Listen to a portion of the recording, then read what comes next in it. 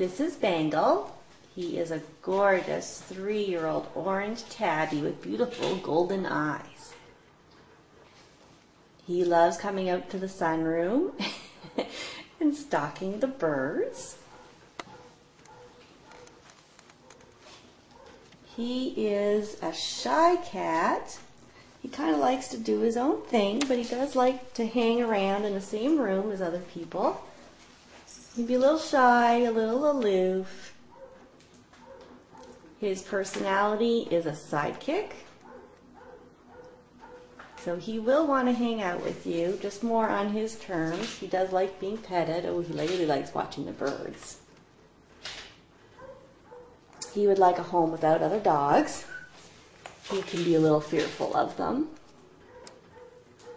He loves to sniff and investigate everything. The Bengal is uh, ready for adoption. He's waiting at Wayside Waifs.